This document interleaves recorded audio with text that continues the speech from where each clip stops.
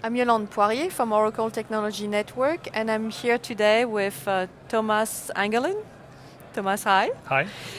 Um, so tell us a little bit what you do for, for living. What I do for living? Yeah. I'm um, a senior consultant in normal life. I'm a senior consultant um, in a um, small or medium-based um, software consulting company, mm-hmm. and um, yes, I'm that's that's my normal day job. And um, there's a second heart in my body, and the second heart is home automation. And okay. um, with uh, in the home automation area, I am very addicted to um, a project called openHAB, Open okay. Home Automation Bus. And uh, yeah, that's what I'm, what I'm um, doing my spare time, developing things, automating things at home.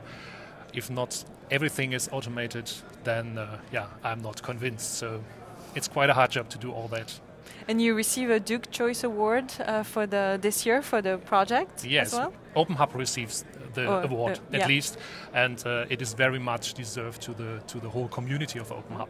So uh, we have, um, yeah, sorry. Who who else was on the project uh, with you? Um, there's Kai Kreuzer, who mm -hmm. founded the project in uh, early 2010, okay. and currently we have around. Um, 20 active contributors to the project. Um, we recently switched our project from Google Code to uh, GitHub, so we know very well who is active and who contributes to the project. Okay. And that's around 20 contributors and um, around 70 forks we have uh, on the project. So it's quite active, quite vibrant, and uh, we are very happy about that. And that's the reason why we received the award, I think, or why the project received the award. So the the project. Uh, so explain a little bit. What does it do? Or I mean, is it a platform? What did you create? Yeah. Uh, the, the, whole problem in um, home automation area is there are many many different systems out there and all of the systems speak different protocols and since there's no global protocol that all of the devices speak, we have to create, or we had to create a platform which leverages all the protocols. And um, openHAB is an integration platform which connects to all the different devices and um, yeah, builds services on top of that devices so that home automation is possible again. Before that, you had no chance because all of that devices have their own silo. Yep.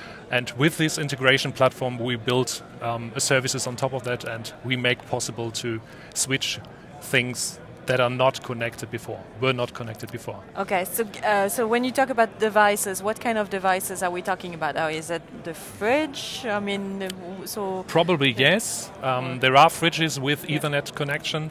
Um, we have um, professional home automation buses, for example, KNX. It's very um, Nikobus is very um, popular in uh, Belgium.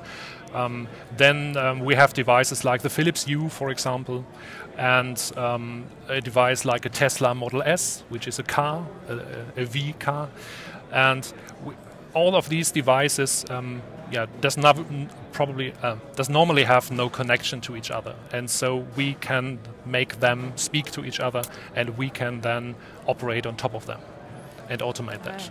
So, um, how did you build it? I mean, uh, which language do you use? We use Java, okay. uh, and uh, uh on top of Java, we use OSGI as um, to yeah, in order to modularize our software better.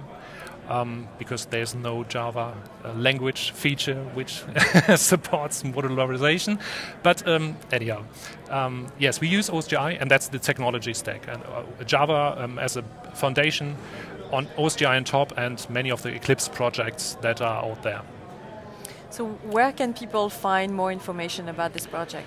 We have um, a website, um, uh, openhab.org, okay. which is, um, yeah, we, we started with a new landing page, a bit more fancy landing page than before.